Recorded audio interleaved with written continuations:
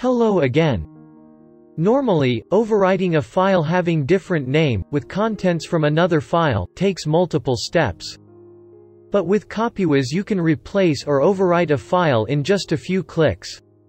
The file name stays unchanged after replacing. That's the key advantage. Let us find out how. This is an old picture which we will replace with a new one.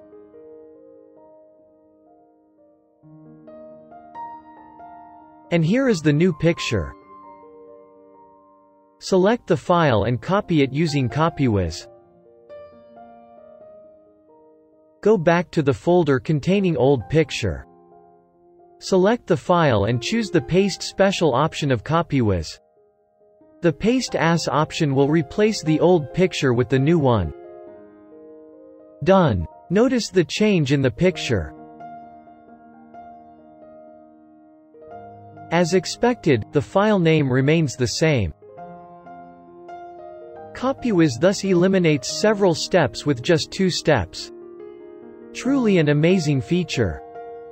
Download Copywhiz for free, from www.conceptworld.com.